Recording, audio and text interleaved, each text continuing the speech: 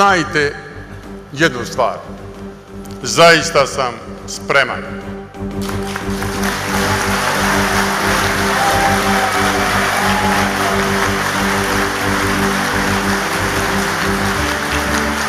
Spreman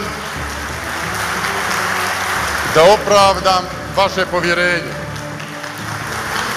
Da dostojanstveno, hrabro i mudro predstavljam Bošnjake u njihovom najboljem interesu i interesu drugih naroda i ostalih i Bosni i Hercegovine u cjelini. Vidim polja pusta ostala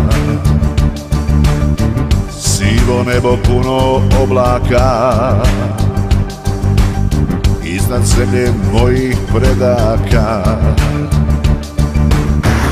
Živjela Bosna i Hercegovina! Hvala vam! Svanuće Zlatna žita opet glasaće Jedno novo sunce granuće. Od temelja zemlju dizače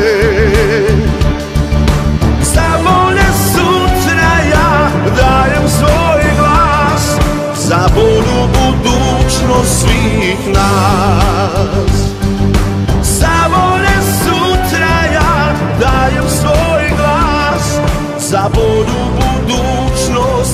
Za bolju budućnost, za bolju budućnost svih nas.